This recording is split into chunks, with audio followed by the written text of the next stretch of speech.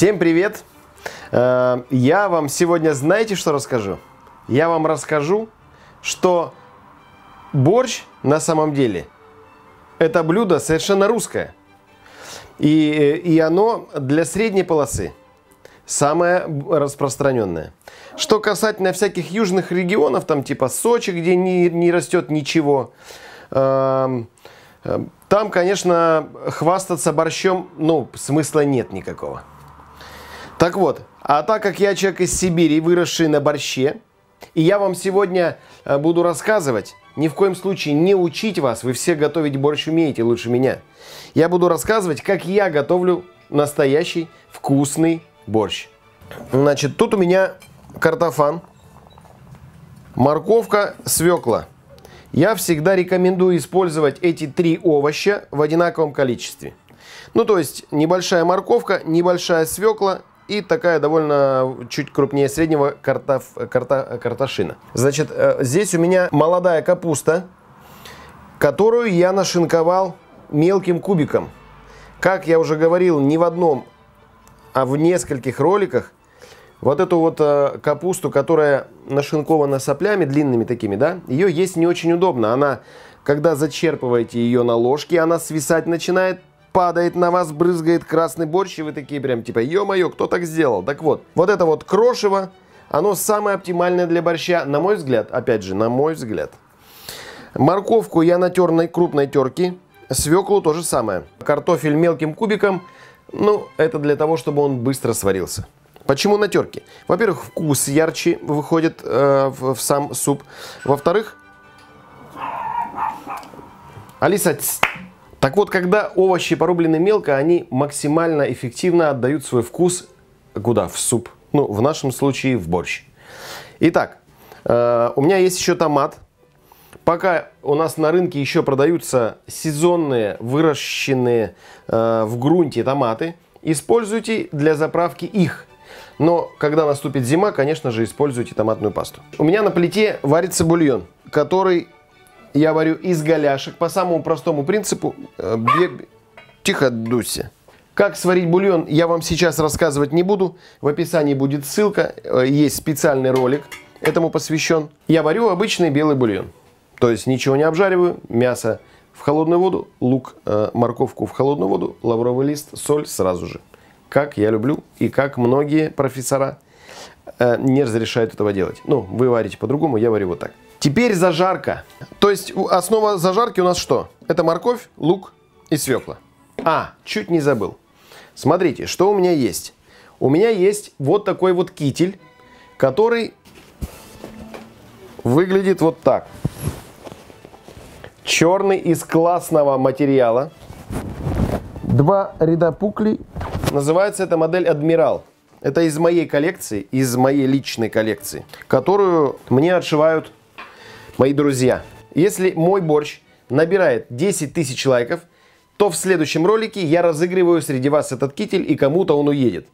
Причем, смотрите, э, на воротничке сзади, видите, есть эмблемка которая характеризует мою коллекцию кителей. Здесь написано ВЕ. То есть не просто какой-то там китель где-то что-то купленный. Это реально из моей коллекции. То есть такую э, модель можно купить только с наименованием ВЕ. Василий Емельяненко. Возвращаюсь к зажарке. Сковородочка должна быть самая любимая, потому что вы готовите самый вкусный борщ в мире. Все начинается с лука. И сразу же вместе с луком я отправляю сюда морковь. Кастрюля у меня трехлитровая, поэтому я еще раз напомню. Лука где-то 80 граммов, 100 э, граммов морковочки и 100 граммов свеклы. Обязательно, сейчас у всех вопрос такой сразу, как это, он на сухую сковородку? Нет, я не на сухую. Просто у меня есть такая дурная привычка, я сначала кладу то, что я обжариваю, а потом добавляю масло. Но в моем случае я рекомендую вам. Тут, конечно же, каждый готовит по-своему, но я вам рекомендую использовать топленое масло. Это реально вкуснее просто в 100 тысяч раз. В 100 тысяч раз. Прям столовую ложку топленого масла. Там в зависимости от того, как овощи будут забирать э, масло, можно будет в процессе еще добавить. Сразу же соль. И потом овощи должны просолиться. Мясо, которое варится в бульоне, должно просолиться. Тогда появится вкус. Можно даже сразу, здесь у меня смесь перцев, можно покрупнее ее. О. Чтобы уже при обжарке все вкусы раскрывались. Все должно раскрываться, шкварчать и удивлять нас своими ароматами.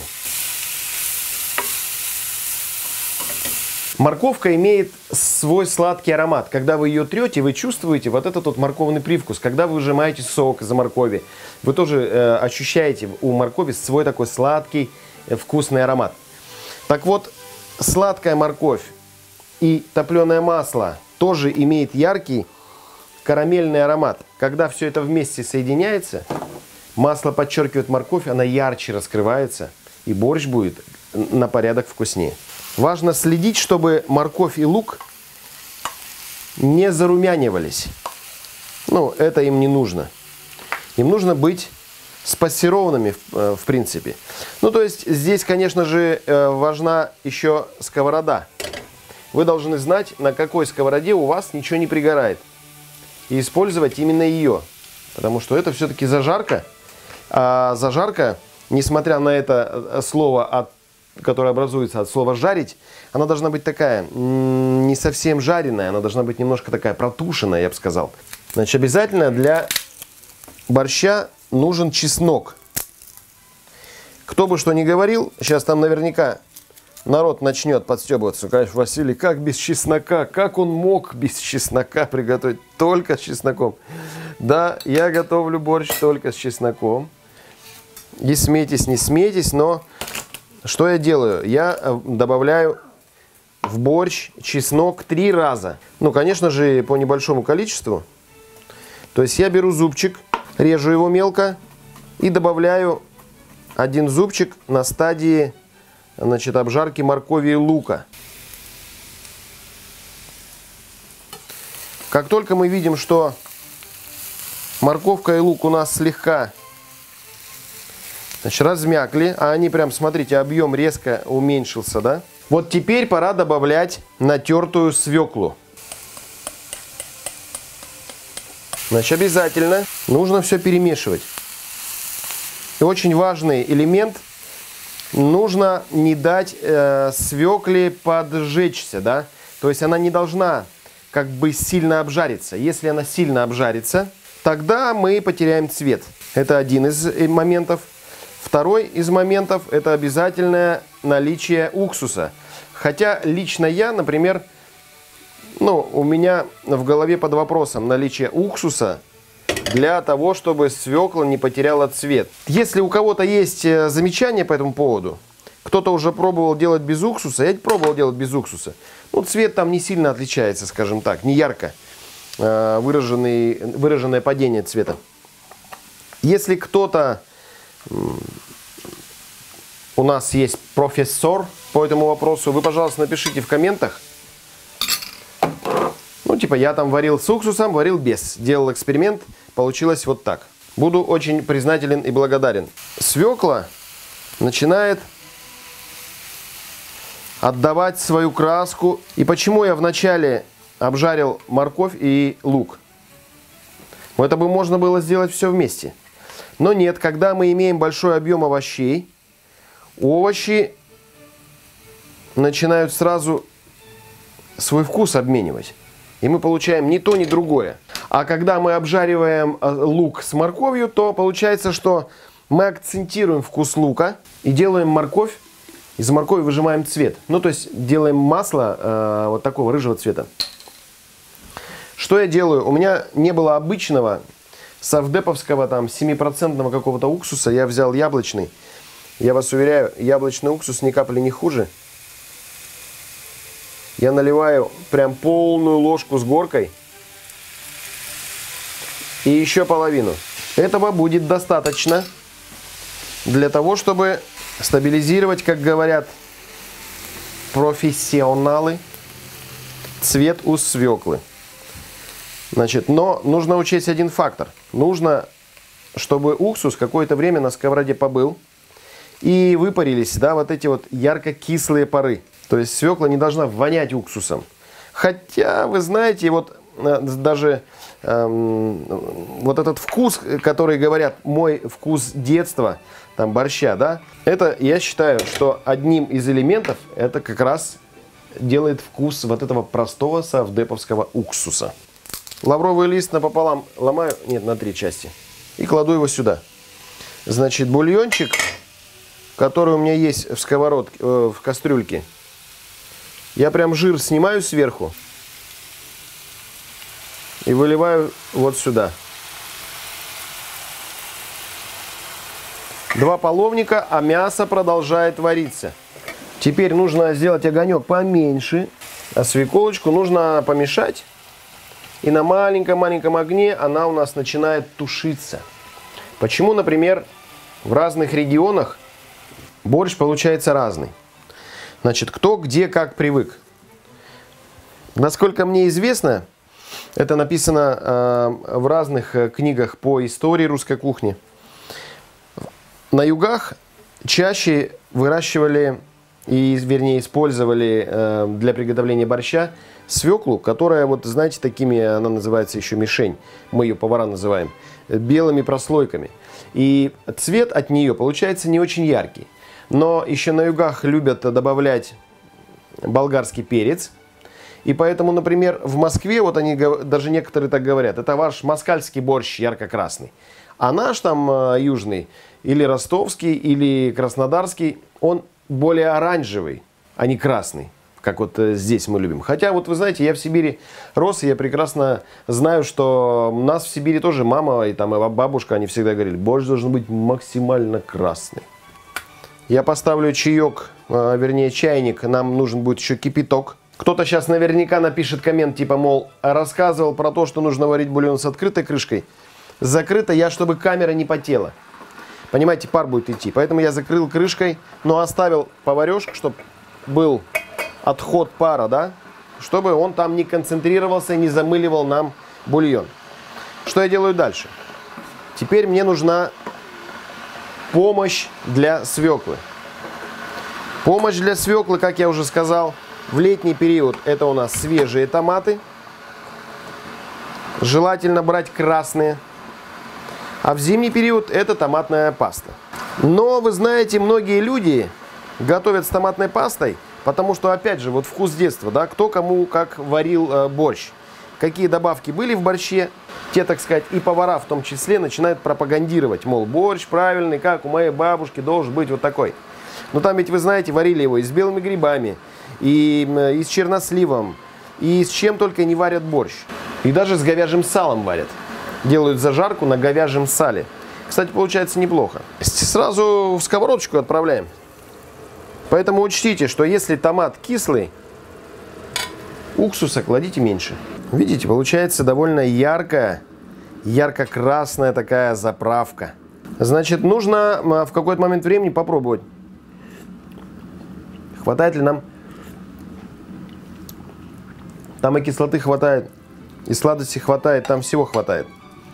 Но обязательно в процессе пробуйте, потому что вы должны понимать, на каком этапе у вас какой вкус. Для бульона я взял голяшку, я уже об этом говорил, и разрезал ее на 4 части вдоль. Ну, голяшка имеет такую, так сказать, форму грушевидную, да? Я ее разрезал на 4 части вдоль для того, чтобы она быстрее сварилась, для того, чтобы она отдала вот эту вот там оставшуюся остатки сукровицы, миоглобин, который есть в бульон, чтобы я снял пенку и уже получил такой более-менее чистый бульон и мясо без э, кусков запекшейся крови. Значит, на 3 литра воды я взял 700 граммов мяса.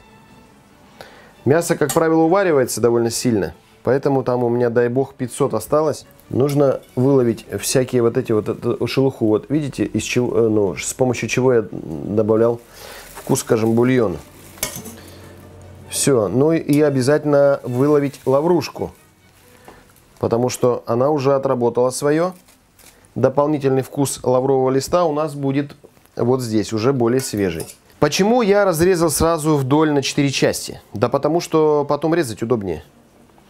Как только вы режете там, например, или оставляете цельный кусок мяса, потом его придется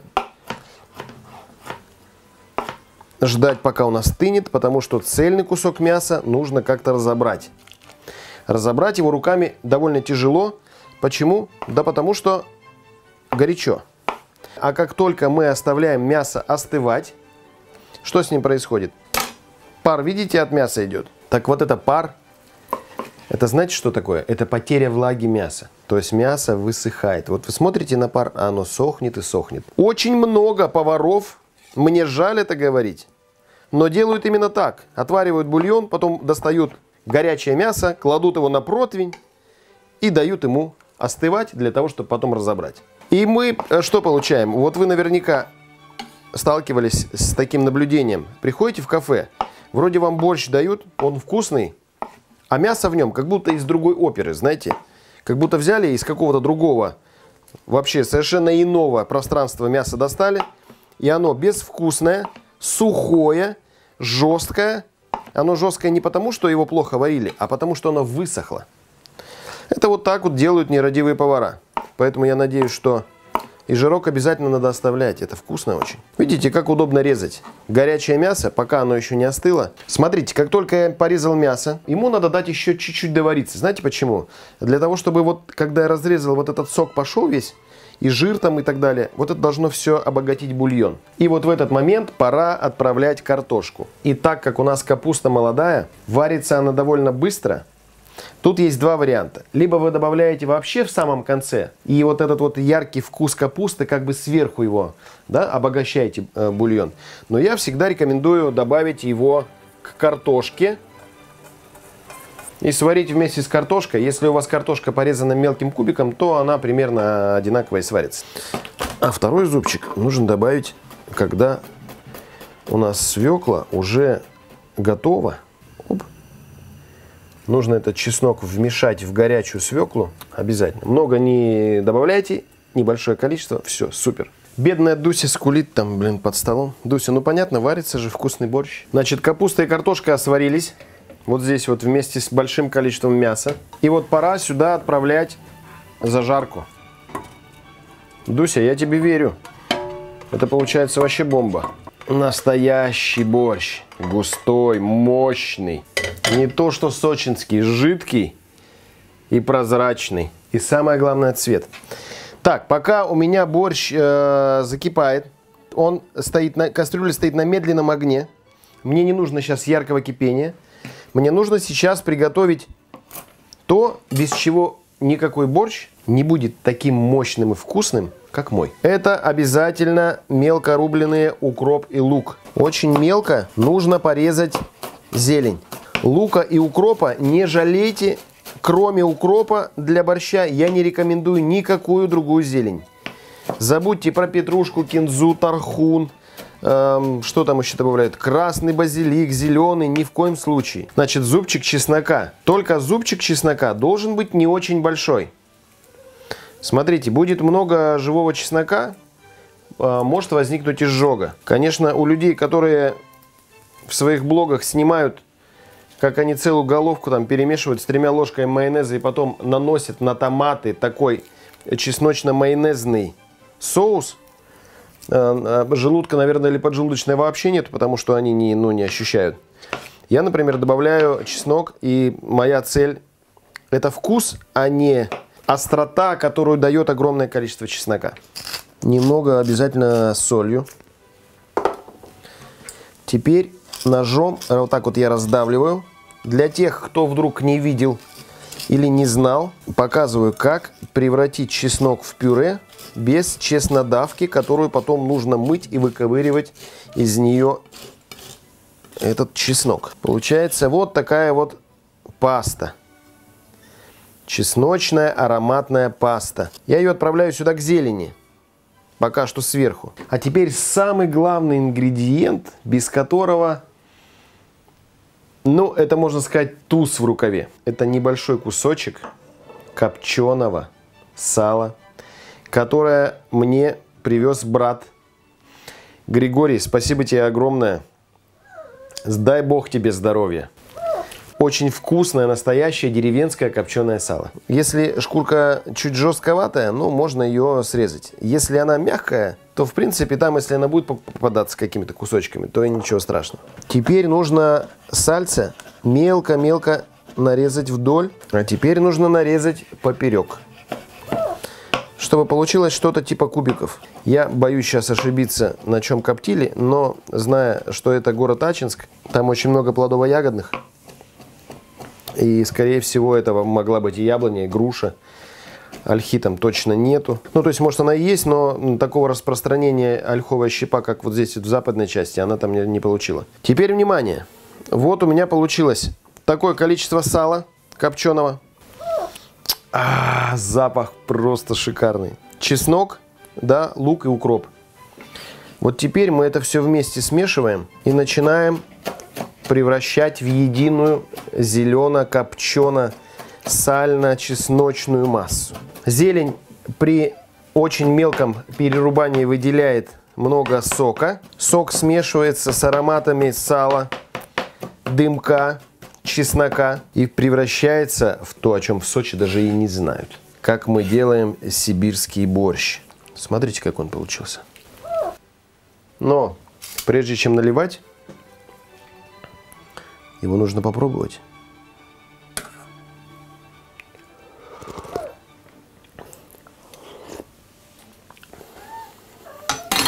соль, перец, все идеально. Идеально. Топленое масло дает свой такой вкус молочно-карамельный. Он подчеркивает сладость овощей. Я ведь не добавлял сахара. Кто-то добавляет сахар. Сначала выкладываем гущу. Оп. Аккуратно. В центр. Это же просто какое-то безумие. Честно признаюсь, я читал ваши комменты, там, мол, чувак, свари борщ. Летом я был в разъездах весь, снимать было неудобно. Я думал, как же я хочу борща. Когда же придет тот момент, когда мы будем снимать борщ? Вот он настал. Когда красное ароматное варево попадает к вам в тарелку, и вы кайфуете от того, что вы русский человек, и вы можете так вкусно приготовить борщ. Ну а если не можете, я вам рассказываю, учитесь. Секретный ингредиент секретно-ингредиентного вкуса. Заправочка у нас вот это вот самое. Вот оно, копченое сало с зеленью.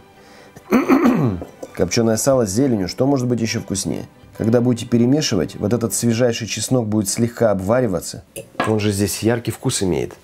Да, и он будет распространяться. Это будет такое вообще чудодейственное. Вот смотрите, я сюда сметану не добавляю.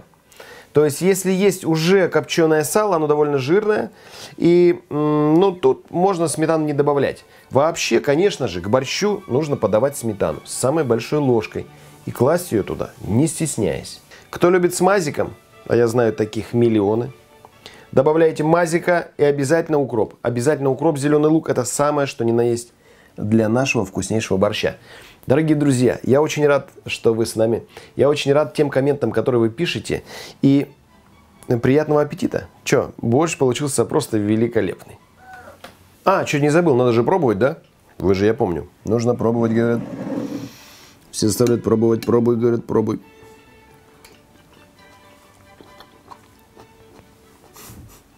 Это потрясающе. Я сначала попробовал борщ без э, сала и зелени и чеснока. Он, конечно, классный. Но вот, да, топленое масло прям дает яркий такой, какой-то деревенский вкус ему придает. Хотя, э, наверное, идеологический деревенский вкус, наверное, должен быть очень простым, потому что в деревне никто же не заморачивается, как я. Давайте этого добавим, давайте того добавим, всего добавим. Там просто что было в кастрюлю скидали, в печь поставили, все сварилось. Поэтому, может быть, я вас обманываю не совсем деревенский вкус, а наоборот городской. Но с салом, чесноком и зеленью это новый, это новый этап вообще в борще варенье. Вот, и я вас уверяю, что если кто-то из вас сделает вот так, как я показал, именно так, не отступая никуда – вы просто удивитесь, насколько все остальные борщи, как бы это правильное слово подобрать, ну так себе, чтобы никого уж э, не ругать. Вот это реальный борщ. Вот это реальный борщ.